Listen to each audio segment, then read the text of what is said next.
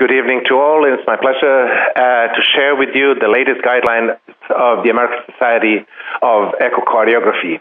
Here are my dis- disclosures. I'm a Speakers Bureau for Philips and Medtronic. So let's start thesis. Uh, if you check the latest issue of the American Journal of the American Society of Echocardiography, you have seen that the guidelines, the guidelines for the use of echocardiography in the evaluation of a cardiac source of embolism. This is a product of a three-year, three years of hard work on the members of my uh, committee. And here, the, them, uh, Alicia Armour from Duke University, Farooq uh, Chaudhry from Mount Sinai in New York, uh, Samir Arnaout from American University in Beirut, uh, Richard Grimm from Cleveland Clinic, Itzhak Kronzon from Lenox Hill in New York, uh, Bruce Landeck from University of Colorado, uh, Kameswari Maganti from Northwestern in Chicago, Hector Michelena from Mayo Clinic, Kirsten Tolstrup from University of New Mexico, and myself from New York University. Let's try with the learning objective. What are we going to discuss in this uh, webinar? I'll first try to introduce the 2016 ASE guidelines on cardiac source of embolism, and this is the first set of guidelines from the American Society of Echocardiography that is specific to this topic. And we'll try to explain the clinical utility of these guidelines through figures, tables, videos, and uh, touch upon evaluation, report, reporting recommendation, and comparisons of echo modalities. And further, we will discuss how these guidelines relate to the 2011 appropriate use um, criteria for echocardiography. So let's look at the cardiac source of emboli and the, what was the rationale for us to create these guidelines. The cardiac embolism accounts for a large number of ischemic stroke and systemic emboli. And paradoxical embolism, an embolism from the thoracic aorta, especially from its atheroma content, is responsible for additional cases of stroke and systemic embolism. And 2016 ASE guidelines on cardiac sources of emboli are the first set of guidelines that are specific to this topic. Now let's look at what are the clinical utility, what's the clinical utility of these guidelines? As you know, we as uh, echocardiographers, we practice both transthoracic and transesophageal echocardiography, and those imaging modalities happen to be cornerstones in the evaluation, diagnosis, and management of patients with systemic um, and paradoxical embolism and we need a clear understanding of various types of cardiovascular conditions that are associated with cardioembolic stroke and their intrinsic risk to need to manage and diagnose cardiac sources of embolism. And how are we going to organize this presentation? This will be a presentation overview. We will first review potential cardiac sources of emboli. We will discuss the role of echocardiography in clinical management of cardioembolic stroke and systemic embolism and we'll compare then echocardiography to other imaging modalities used for diagnosis of cardiac sources of emboli. And then we will, for each form of cardiac embolism, we will provide levels of recommendations. And throughout the guidelines, we, uh, we use the same format, and we have echocardiography recommended, echocardiography potentially useful, and echocardiography is not recommended. And You'll also, in this presentation, you'll see a couple of questions through which we will reinforce our learning objectives. So let's look at some of the stroke basics. Uh, stroke is the leading cause of death in disability worldwide. And in 2005, it is estimated that stroke accounts, accounted for 10% of all deaths worldwide. And more than 2,000 new strokes occur every day um, in the United States. And stroke incidence is declining in developing countries largely due to better hypertension control and less tobacco use. So that's good news. And if you look at the Framingham, um, tri- uh, Framingham studies, and if you look at the incidence from the 1950s to the turn of the 21st century, you see that the stroke incidence has decreased in both in men and women.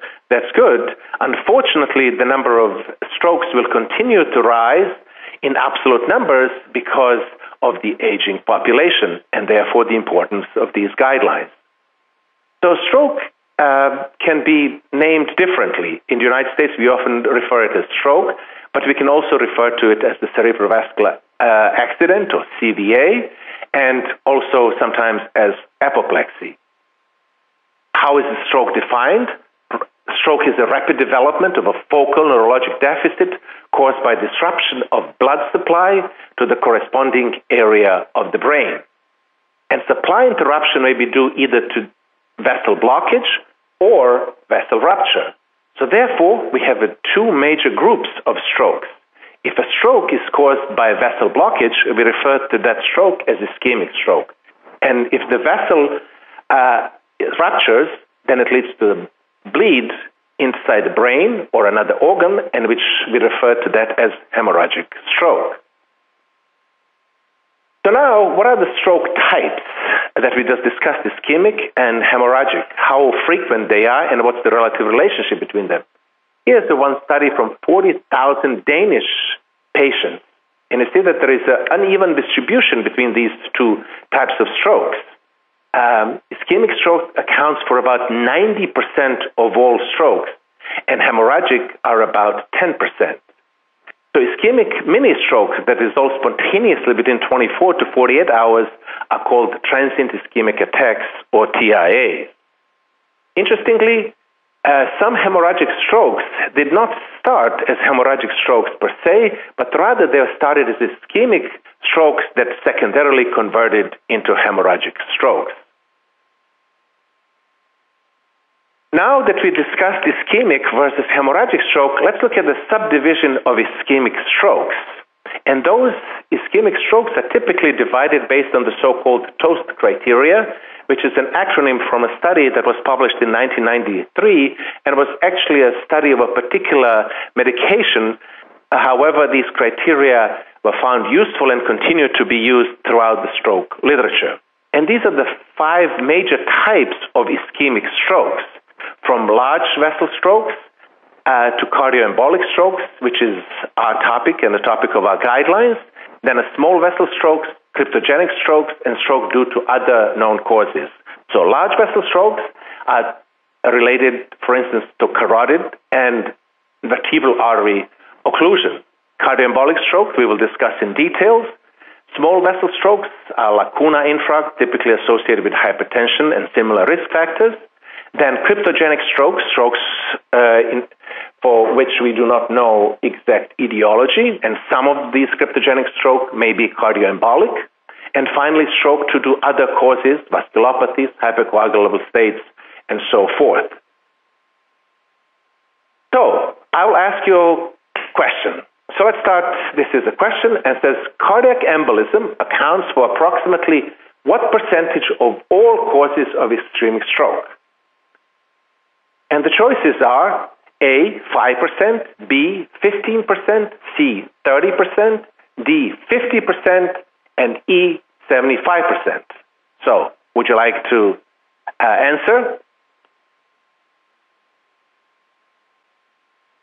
So, uh, we have a variety of answers, but the majority of you answered correctly.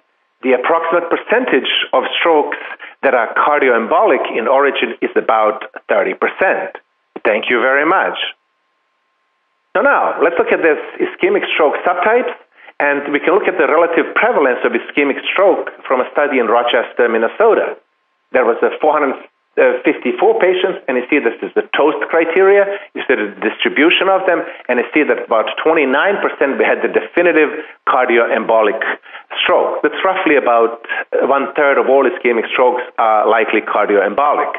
And of course, there is another third is uh, cryptogenic, and some of them might actually be cardioembolic. But there's a proven uh, cause cardioembolic uh, strokes are about one third of all ischemic strokes. So most of you answered correctly.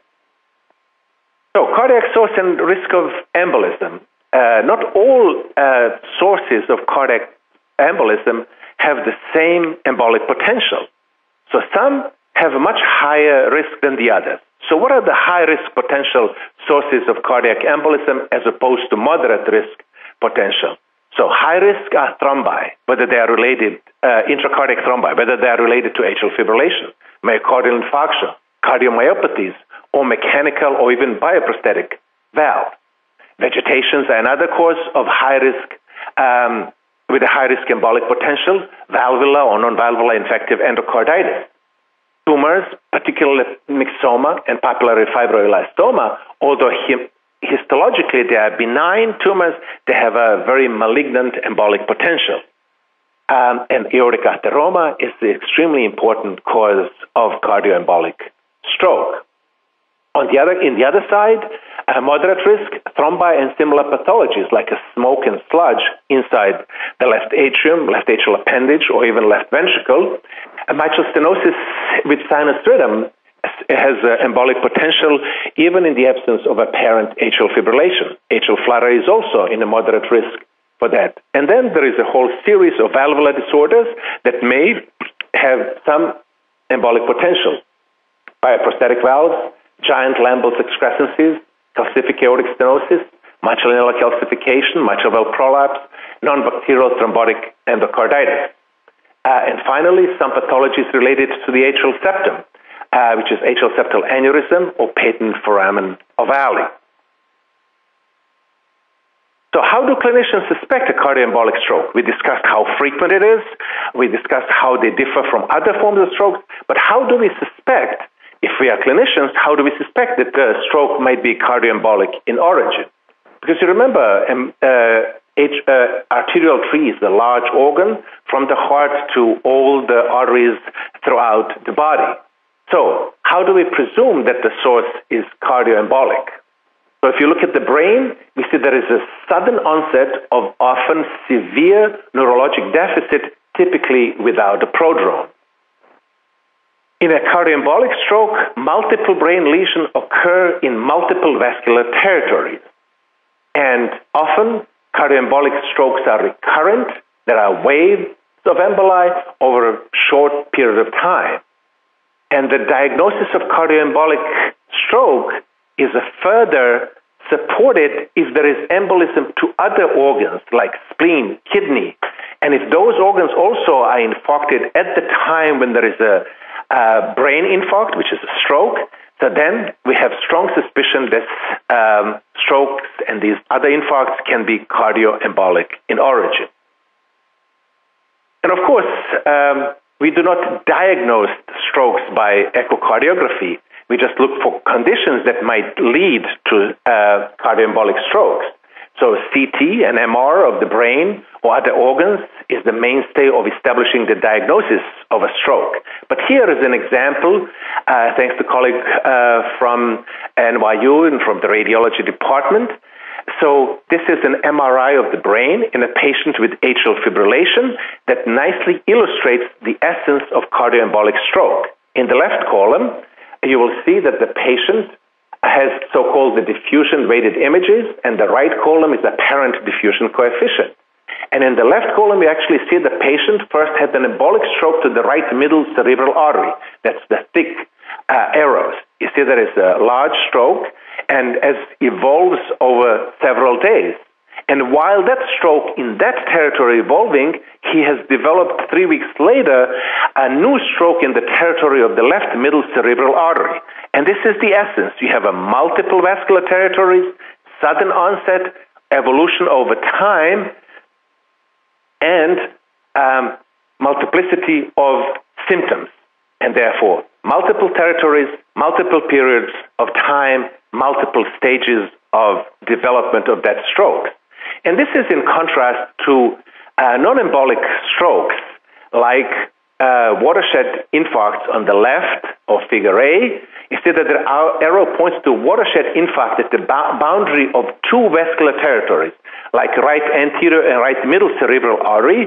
And those, while they, some of them might be embolic, they often occur in a generalized loss of perfusion, such a generalized hypotension. Also, cardioembolic strokes should be differentiated, for instance, from lacuna strokes, which are small lesions that are often associated with hypertension. So, how did we, once we looked at that, how can we use echocardiography to diagnose potential sources of, echocard, uh, of cardiac, uh, cardioembolic stroke? In our guidelines, we have a large section that provides you with the very practical guidelines on how to use various echocardiographic techniques to evaluate cardiac sources of embolism. And here we discuss practical recommendations, very, very practical, on how to various these techniques can be used in the diagnosis of cardiac sources of embolism.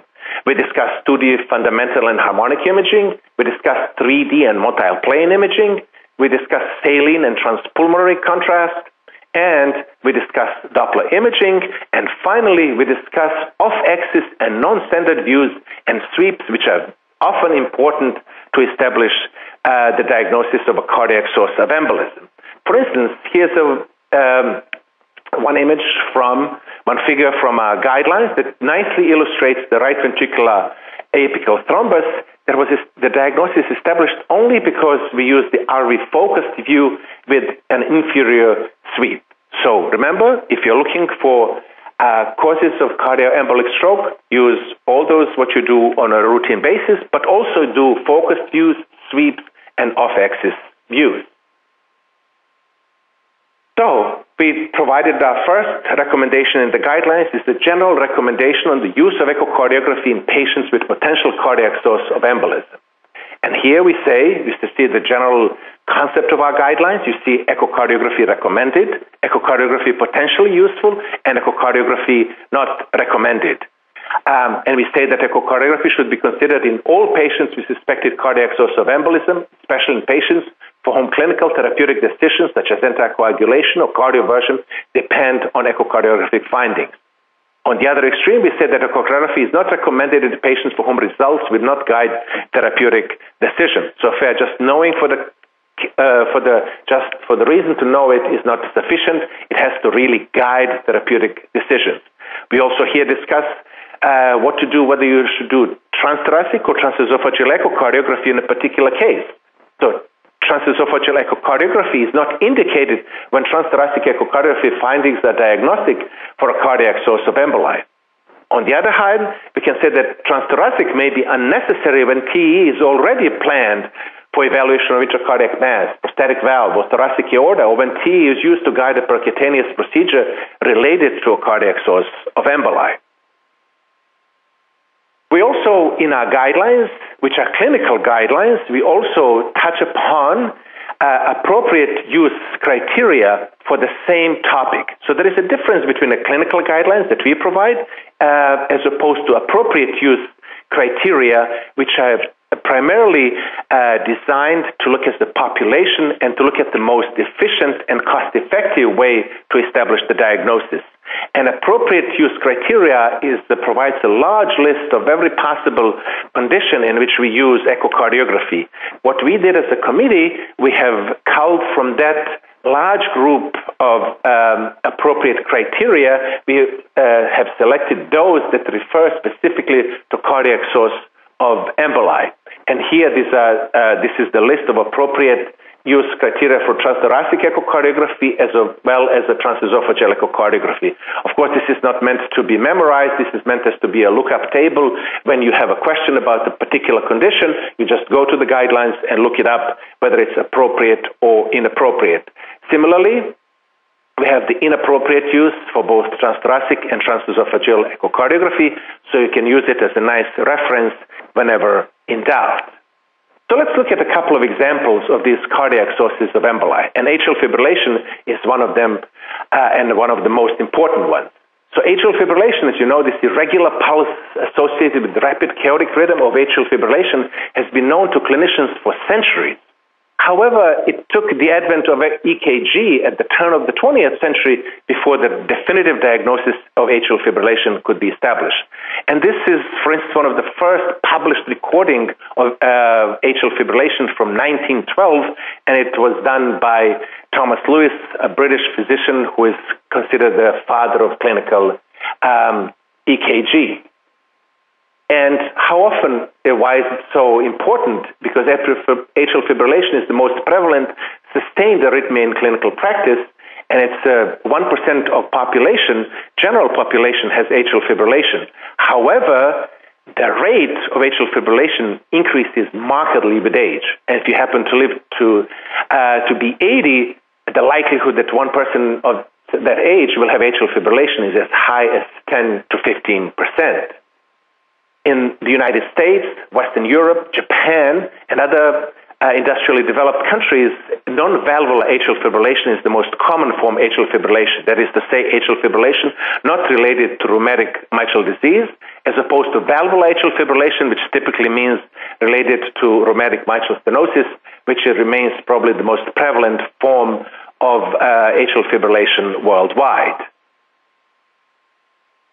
And what's the embolic potential of atrial fibrillation? It's estimated about 15% of all ischemic strokes um, are related to atrial fibrillation. And annual risk of atrial fibrillation is about 2 to 10%, on average, about 5% for any individual patient. So now I'll ask you another question. A non-valvular atrial fibrillation is the leading cause of cardiac thromboembolism. What is the most common site of thrombus formation in patients with non-valvular atrial fibrillation? And again, you'll have five choices. A, body of the left atrium. B, left atrial appendage. C, interatrial septum. D, body of the right atrium. And E, right atrial appendage. So try to answer now. Okay, so the vast, vast majority, 95% of you answered correctly that it's the left atrial appendage is the site, and that's what we have to pay special attention to it. Excellent.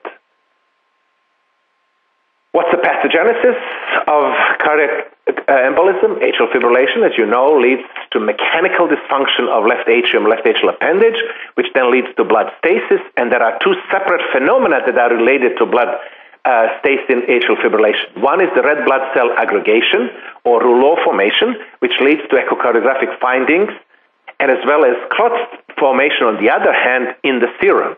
So uh, red cell aggregates uh, are seen on echocardiography by smoke and sludge, while the true clot formation is essentially referred as thrombi. So while smoke and sludge are not directly related to embolism, they're actually markers of uh, blood stasis, left atrial appendage dysfunction, and the potential for cardioembolic stroke. In our guidelines, we clearly state that uh, uh, left atrial appendage is the most common site of clot formation in atrial fibrillation. But look at this. It's interesting in non-valvular atrial fibrillation, that's almost always left atrial, uh, that the thrombi are located in left atrial appendage. Very small number of people with non-valvular atrial fibrillation will have clots in the body of the left atrial appendage. This is a contrast to valvular atrial fibrillation that is associated with uh, uh, rheumatic mitral stenosis that, that where about one third of all thrombi can be in the body of the left atrial appendage. But from us, from the echocardiography perspective, because most AF-related thrombi are located in left atrial appendage, and because left atrial appendage cannot reliably be visualized by transthoracic echocardiography, we then can state that transesophageal echocardiography is the primary means of diagnosing aortic atrial fibrillation associated thrombi. And as you know, there is a spectrum of finding in atrial fibrillation, and we provide uh, many images uh, in our documents. For instance, this is somebody with atrial fibrillation with a normally contracting left atrial appendage, and neither, there is no smoke, sludge, thrombus.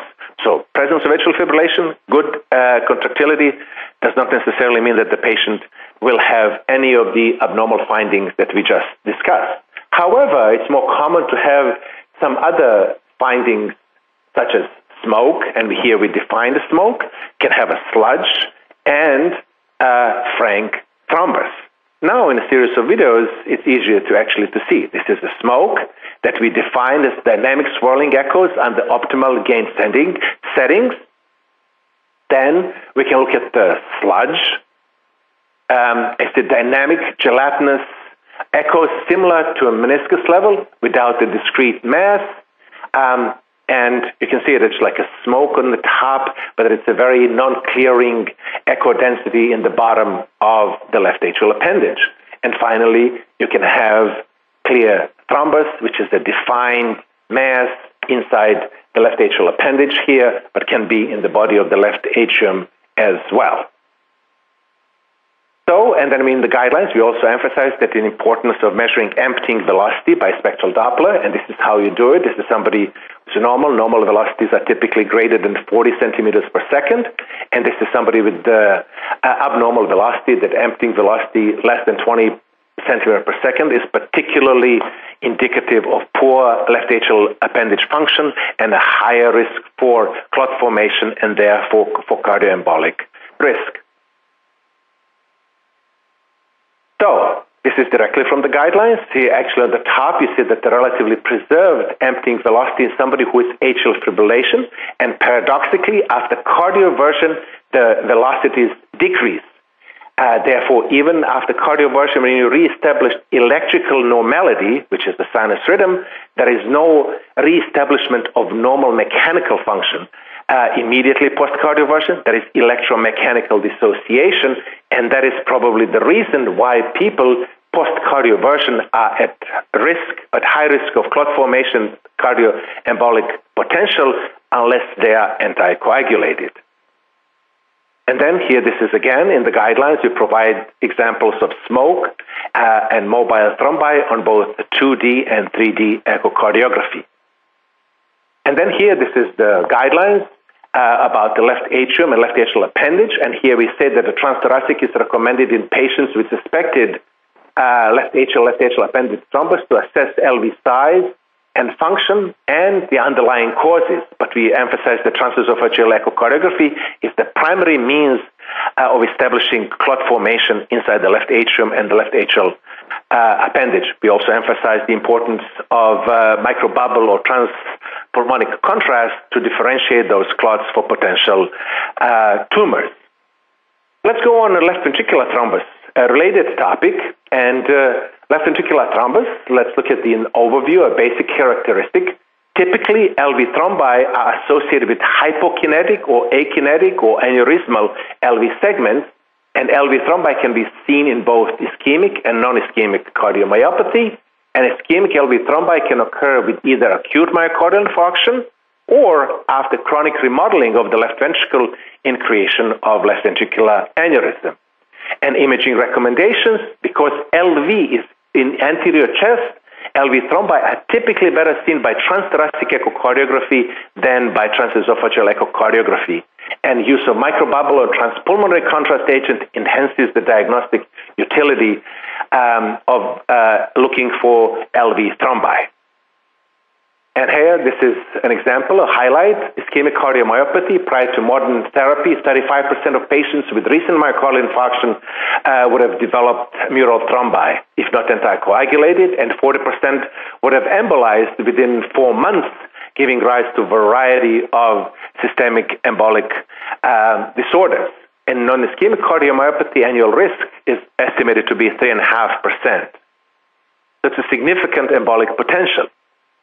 And then here, let's say an example, we don't provide cases in the guidelines clearly, but it, we emphasize the importance that all echocardiography findings should be taken in the context of clinical findings of a patient. So let's say this is 24-year-old man with acute myocardial infarction three weeks earlier and now presents with bilateral lower extremity thromboemboli. Clearly his EKG shows a completed anteroseptal wall myocardial infarction.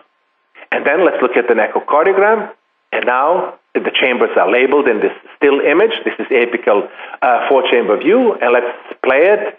And now you can actually see that the apex is akinetic. There is a mass that's a mobile and associated with akinetic segment. So that should be a strong consideration that this might be a thrombus. And then in another case, 52-year-old woman with non-ischemic cardiomyopathy now presents with the recent sudden onset of left-sided weakness. Apical four-chamber with the zoom to the LV apex. This is before we give a contrast, and this is after we gave microbubble contrast. And you notice that using the microbubble contrast, we can enhance our diagnosis, and you see that it's the absence of contrast uptake by this mass indicative of a thrombus because the thrombus is a vascular structure that it's easier maybe to see on a moving image. So this is before we gave the microbubble contrast, and this is after we gave the microbubble contrast.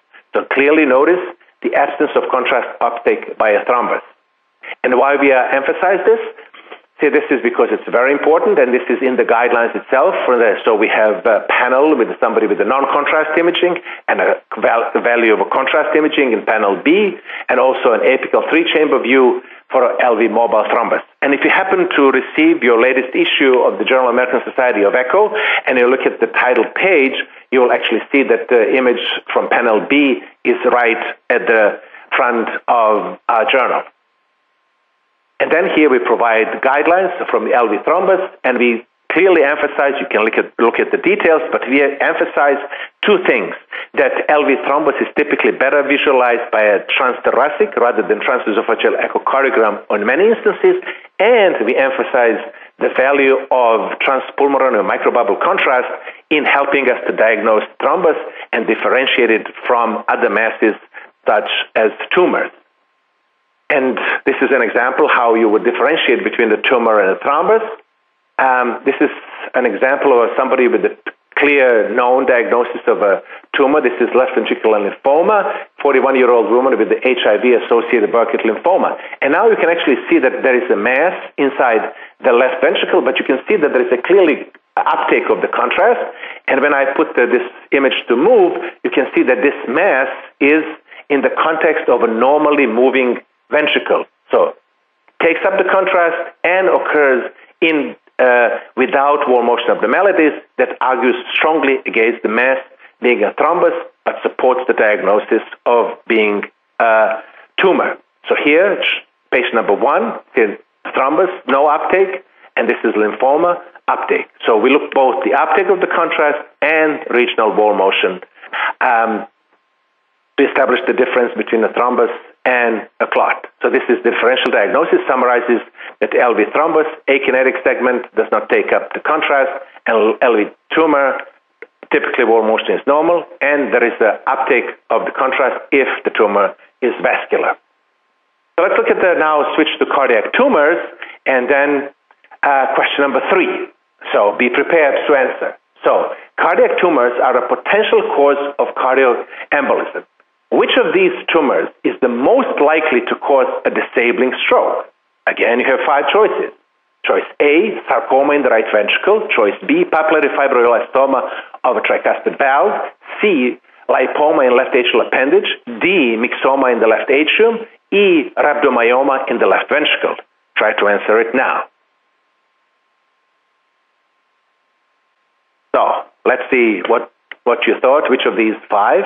And two thirds of you answered correctly that the most uh, embolic potential for a disabling stroke is the myxoma in the left atrium, both because of its histology and embolic potential, and both for its location. Tumors in the right heart are unlikely to cause disabling stroke because it would require also to be uh, paradoxically transferred from the right heart into the left heart. That's good. So you answered all three questions. The majority of us answered correctly. That's very nice. So, cardiac tumors, most cardiac tumors are metastases of non-cardiac malignancies, lung, breast, stomach, colon. However, even in patients with systemic malignancies, you should not automatically assume that the intracardiac tumor is a metastasis. So all cardiac tumors, if you look at it, about 90% are secondary tumors, metastases from non-cardiac tumors and about 10% are primary tumors. And the vast majority of primary tumors, about three quarters, are benign, such as myxoma, papillary fibroelastoma, and lipoma, while about 25% are malignant, and uh, among them are sarcomas, such as angiosarcoma, rhabdomyosarcoma, and so forth. And so, what do we say in the guidelines and what do we provide? We have provide uh, very nice images, uh, both still and moving images, So, for instance, of myxoma here on a transesophageal echocardiogram, together with the histology of uh, left atrial myxoma. But also, we can establish the diagnosis, and we show this by transthoracic echocardiography, nice myxoma of the left atrium, the plopping through the mitral valve in a phenomenon called uh, tumor plop. And then we also provide another tumor with a high embolic potential, again, benign tumor. It's a papillary fibroelastoma. Here's an example of papillary fibroelastoma of the aortic valve. And here provide both in 2D and 3D transesophageal echocardiography as well as histology of this tumor. And that's, those are very easy to recognize in most instances um, by when you have a moving image. And what did we say about recommendations for evaluation of cardiac tumors? And we say the complete transthoracic is recommended for all patients suspected of having cardiac tumors, but we again emphasize that the T is often uh, more valuable, and we also emphasize the importance of transpulmonary or microbubble contrast in differentiating uh, tumors, whether it's a vascular tumors from non-vascular structures such as thrombi. And let me give you a, quick example of left atrial myxomas so that this is, again, you take a clinical context, 62-year-old woman, prior history of ovarian cancer, presents with shortness of breath and dizziness, and chest CT, no pulmonary pathology, and incidental finding of a left atrial mass, and they say it's a tumor versus thrombus. But when we looked at this, actually you can see this is a transesophageal echocardiogram in a bicaval view, and you see that a well-circumscribed mass on the left atrial side of the fossa ovalis and a heterogeneous in appearance, and this is essentially almost diagnostic of left atrial myxoma. You see the location, heterogeneous nature. Um, and then if you give a contrast, microbubble contrast, myxoma will appear sort of halfway between a truly vascular tumor and a thrombus. Because of heterogeneous nature, you can actually see that there is a part of tumor uh, takes up the contrast and part does not. It's often seen with myxomas. Okay, and then you can actually use also 3D echocardiography to locate this tumor. This is from right atrial side, and we'll now turn it to the left atrial side and see typical location of the myxoma on the left atrial side of the fossa ovalis. And this is the myxoma. These are the clinical characteristics, most common primary cardiac tumor, and these are all the other characteristics that you can read, and some 7% of myxomas are familial as a part of the Carney syndrome. Papillary fibroelastoma is another important uh, source of embolism. This is again clinical case presentation. 63-year-old man, two-week history of fevers and chills following tooth extraction. So clinically, it was suspected that might be endocarditis. Has recent episode amaurosis fugax uh, vision loss, and actually you can see it here on the aortic side of the aortic valve. There is a rounded mass that it has a characteristic of papillary fibroelastoma. And it's actually much easier to see it on a moving image. So essentially you see that a biplane view of the aortic. It's a very characteristic gelatinous um, mobile mass, a very characteristic appearance. And then here on a 3D, you can actually see uh, that's uh, papillary fibroelastoma of the aortic valve. It can occur on any other valve inside the heart, but on the aortic valve is uh, prominent. And then you can diagnose it also by CT. Probably CT and MR are not as important for papillary fibroelastoma. However, for any other cardiac tumors, rhabdosarcoma, myosarcoma, lipoma, these radiologic imaging uh, might be more important than echocardiography, establishing the true nature of the tumor. And so this is histology, this is uh, avascular front, so papillae, and then uh, aligned with an endocardium. Sometimes it says that it's not a true tumor, um, but it's still in the benign nature of the disease. They might recur as well. So this is papillary fibroelastoma and teaching point that papillary fibroelastoma are the most common valvular tumors of the human heart. Now, vegetations are another cause of emboli, but it's a high potential. And then uh, basic features. As you know, this in the absence of intravenous drug use or implantation of indwelling catheters and devices, infective endocarditis is actually a rare disorder. Uh, the prevalence of prosthetic endocarditis is approximately 250-fold higher than that of native endocarditis, and a true rate of vegetation embolism is unknown because we do not do imaging, uh, brain imaging or systemic imaging in all patients with a vegetation, so we don't really don't know, but we know that it's uh, likely very high, and the vegetation appear on echocardiography as irregular, shaggy masses with independent motion. And Duke criteria are used for diagnose infective endocarditis. And here's a little uh, illustration, how do we use? Duke criteria have major criteria and minor criteria? And the diagnosis is established by some combination of the two. Is to establish diagnosis, you have either to have two major criteria, one major and three minor, or five minor criteria. But in clinical practice, what's most often essentially what we need are the positive blood cultures, and echocardiogram is ordered, and then if we find finding typical of vegetation, we can with certainty establish the diagnosis of infective endocarditis. And essentially, it's a couple of case presentations 55 year old man, several month history of intermittent fevers, fatigue, and similar symptoms and no history of intravenous drug abuse. And blood cultures grew viridans streptococci, so the organism typical for endocarditis. In the brain, there were numerous microemboli which were clinically silent. And then you can clearly see large vegetation, irregularly shaped, highly mobile, um, and these vegetations are typically associated with uh, valvular um, insufficiency. If I move this into a color, you can see there is a severe mitral regurgitation, which is um, often finding with large vegetations. You can also see vegetations on prosthetic valves. This is the bioprosthetic valves in somebody with the MSSA bacteremia, Staphylococcus aureus. The bioprosthetic valve, transthoracic, you see the large masses associated with the leaflets of bioprosthetic valve. And then if you put the color, surprisingly, there is no regurgitation, but there is a clear channeling of blood indicative of some degree of prosthetic stenosis. And it's easier to see that on uh, transesophageal echocardiography. Uh, you can clearly large mass uh, on the atrial side of a prosthetic uh, mitral valve. Again, no regurgitation, but significant stenosis. So what do we emphasize in the guidelines? We provide first pictures of all these findings um, or complications of endocarditis, such in this uh, nice example of an aortic root abscess.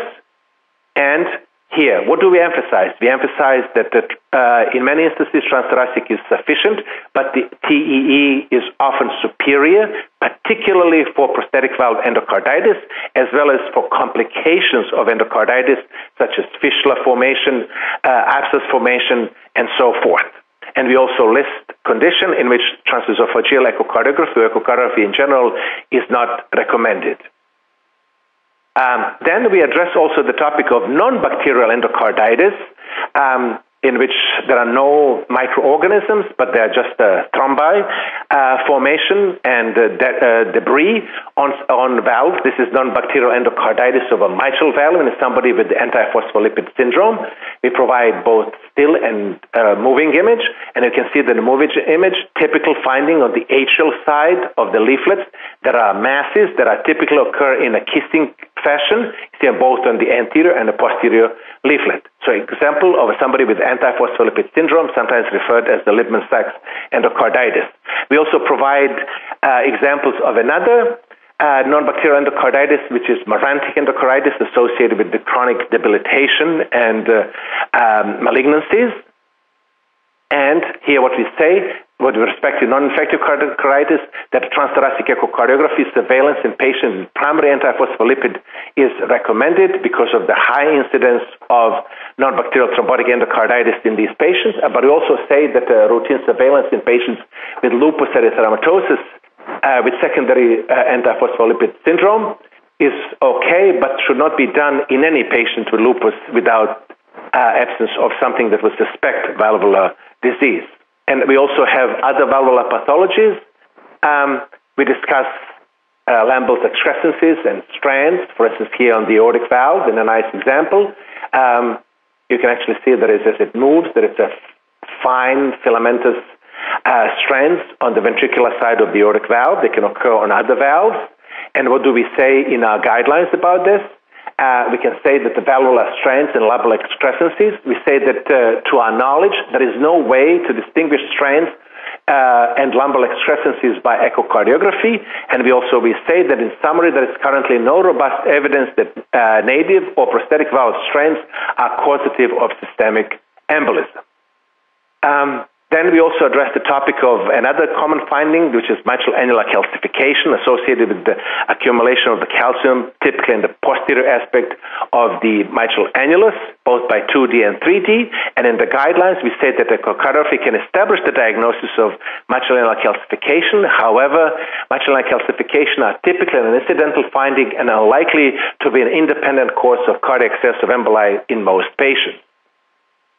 And then finally, we have uh, examples of thrombi, both associated with, for instance, bioprosthetic valves, and you can see it here, large thrombus, high embolic potential, and as well as a mechanical prosthesis. Here's a still image. You can see in a diastole and a systolic frame, see a large mass and inability of the prosthesis to fully open. easier to appreciate in in a moving image. You see that the leaflet that is close to the aortic valve on the right side of the screen, moving sort of normally, but the one opposite it is completely stuck, and there is a large mass underneath, indicative of a thrombus underneath that prosthetic valve. So, what do we say about recommendation for prosthetic valve thrombosis? That both transthoracic and TE are indicated when there is a suspicion of such complication, and we also recommend interval or repeat studies are considered appropriate for evaluation of this condition, um, and that TE or TTE are recommended for evaluation of thrombolysis therapy success uh, when such therapy is administered to treat uh, prosthetic thrombosis. And we also touched upon a, a related condition with pannus, which by itself may not be a, an embolic potential, but has a differential diagnosis with uh, thrombus and vegetation formation on prosthetic valves. And uh, finally, one an important cause of a high impact or high potential source is aortic atheroma. And I said this is cardiac source of uh, atheroma. There's the basic features and atheromatous plaque in ascending aorta. Aortic arch is a well-established source of systemic embolism. The risk of embolism is related to plaque thickness and plaque complexity. High risk features include plaque thickness of uh, 4 millimeters or more, plaque ulceration, and particularly if there are mobile components which represent superimposed thrombi plaque from descending aorta can embolize retrograde if there is particular aortic regurgitation. An imaging recommendation, the plaque in the ascending aorta and arch is typically cannot be fully uh, uh, visualized by transthoracic echocardiography, and therefore transesophageal echocardiography is primary echographic means of diagnosing and characterizing aortic plaques. So let's look at example. This is a normal aortic arch, smooth, and somebody with severe calcific plaque. We can look at that uh, by uh, in videos, normal arch, and severe plaque. And also we can look at the complex plaques, uh, ulcerated plaque, and uh, mobile plaque. Let's look at this uh, on, uh, on a video image and mobile image, somebody with the mobile plaque, high embolic potential. And what do we say about and we can look at also with the 3D. Um, this is on a 3D of a normal arch and ulcerated arch, and this is what we pro- provide in the guidelines, uh, the types of plaques that are present histologically, and then provide examples of plaques and we also say that uh, echocardiography is recommended in preferred, the T is preferred modality, and potentially used to maybe seen on transthoracic echocardiography, but that's low yield. But also, we in throughout the guidelines for every topic, we say that these guidelines also uh, dovetail other guidelines by the American Society of Echo, such as cardiac surgery and percutaneous interventions. And we have multimodality imaging, for instance, for the aorta, and we refer the reader to such potential. So it's we are almost out of time, and we have discussed all the major forms of embolism, and the remainder you can do it on your own, which is a paradoxical embolism, and also we discussed the embolism in pediatric uh, population. Uh, so I hope you enjoy it. We have a couple of questions that are related for mitral annular calcification with mobile components or mitral annular calcifications that are complex. So sometimes these masses are referred as toothpaste tumors or uh, mitral annular calcifications that uh, have calcification that are uh, that caseating that are essentially uh, liquefying inside, and those might have a higher potential embolic potential than uh, typical mitral calcification, which are still. And the management, some of you asked about the management, it really should be individualized uh, per patient and. Um, sometimes uh, they might need surgery to remove, but in most instances, mitral calcification are a benign finding. So, what to do in somebody with the endothelialized thrombus? Essentially, this is a general question uh, regarding what to do in somebody uh, with the chronic thrombus that has endothelialized and whether that should be um, anticoagulation uh, provided. That's really there are these guidelines that we have are not uh, therapeutic guidelines, and there are therapeutic guidelines by uh, societies such as the American Society, American Heart Association, American College of Cardiology, and I would refer you to those guidelines. So these are primarily diagnostic guidelines. So, uh, somebody asked that there is an incidental finding of papillary fibroelastoma of the aortic valve without no um, uh, uh, neurologic events or systemic embolism. So uh, that is very difficult to provide generalized guidelines about a papillary fibroelastoma because this is a rare, con- relatively rare condition. There are no uh, randomized trials like in most of the conditions that we discussed here.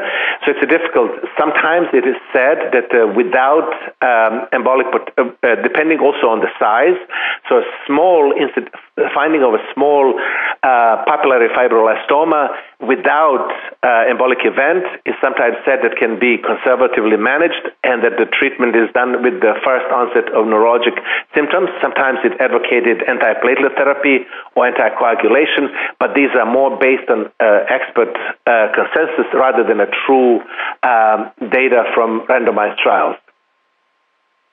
So somebody asked a good question, do you recommend a bubble study for every person that has had a stroke? Uh, if you look at the, our guidelines, we specifically address this issue, and essentially we say that the paradoxical embolism is often part of uh, uh, evaluation for cryptogenic stroke or rare causes of stroke. And we say that uh, using bubble injection to establish uh, intracardiac or intrapulmonary shunt probably has a higher yield in younger people with uh, with stroke because they have less competing reasons to have a stroke. However, as the patient gets older and older, 70, 80, 90, the likelihood that the paradoxical embolism will be caused will be caused a stroke is very low. So one may recommend that essentially in an elderly population who have other identifiable causes or potential causes such as aortic atheroma or atrial fibrillation, probably the yield is better there rather than doing um, bubble study and looking for uh, uh, paradoxical embolism in somebody with the competing causes of stroke. So uh, somebody has asked, is it appropriate to perform echocardiogram in cases where the patient has a diagnosis of hemorrhagic stroke by CT or MR? Uh, so as we discussed, the hemorrhagic stroke represents about 10% of all strokes. Some hemorrhagic strokes start truly as hemorrhagic strokes. Uh, extreme severe hypertension, ruptured vessel. In those cases, probably just to establish the diagnosis, uh, it, there is the, the, yield of echocardiography directly related to stroke is low. However, we have also discussed that some of hemorrhagic strokes uh, didn't start as hemorrhagic stroke, but they were really conversion from ischemic stroke, and in those instances, uh, echocardiography should or should not be performed based on the guidelines that we provided for other conditions.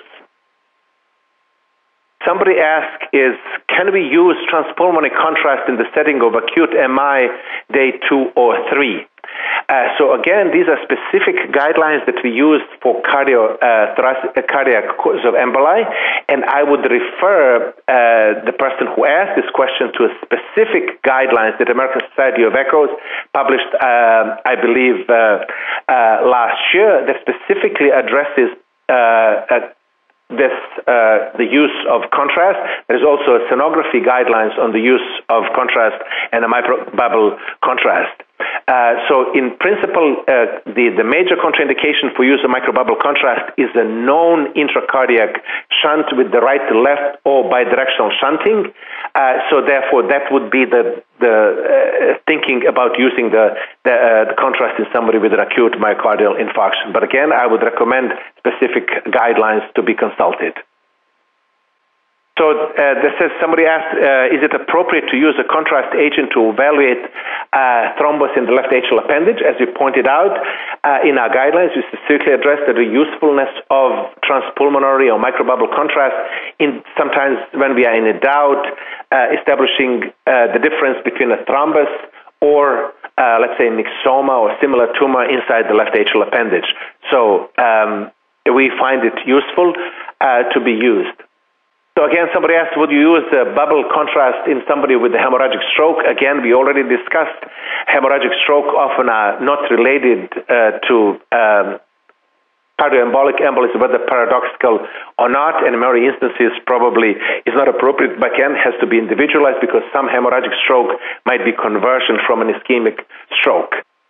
Okay, there is a lot of questions that are coming uh, about the difference between a warfarin and a newer anti-agent or oral agent. I would not uh, try to answer those questions because then I would really, uh, again, point um, uh, the audience to specific treatment guidelines, particularly those by the American Society, uh, American College of Cardiology, American Heart Association, which are really in-depth guidelines and they are specific to the topics uh, that you are asking. So uh, somebody asked, what's the difference between a fibroelastoma and Lambl's excrescence? The Lambel excrescence and uh, strands are typically filamentous. Sometimes could be very large, but there are filamentous uh, strands uh, rather than typically uh, globular appearance of fibroelastoma. Also, fibroelastoma has a jelly-like appearance. It's a tiny balls that uh, with a powder, what's called a powder puff appearance. Uh, so it's really a uh, fibroelastoma is more defined a mass as opposed to Lambl excrescence, which is a set of strands. So again, somebody asked, should we do saline injections for all cryptogenic and cardioembolic strokes? And again, we said that should be uh, individualized, particularly depending on the patient's age and the likelihood that other causes of cardioembolic stroke might be present. Somebody asked what's the frequency of embolization with bioprosthetic valves. We have addressed that question, and you can actually look at in the guidelines. We provide the results from studies, exactly what uh, uh, large surveys. There is a VA study and the similar trial, so you can look at the exact from it differs from different studies. I hope you enjoyed the presentation, this interactive nature, and uh, and I hope I answered uh, most of your questions.